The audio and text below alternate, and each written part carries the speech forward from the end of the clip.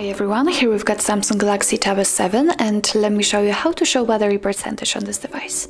So now we've got only battery icon. In order to change it, in order to show the battery percentage, simply open the list of apps and tap on the settings.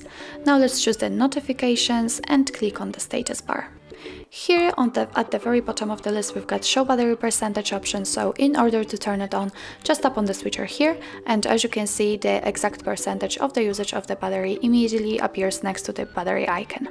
So that's all. This is how to show battery percentage in your Samsung Galaxy Tab S7. Thank you so much for watching. I hope that this video was helpful and if it was please hit the subscribe button and leave the thumbs up.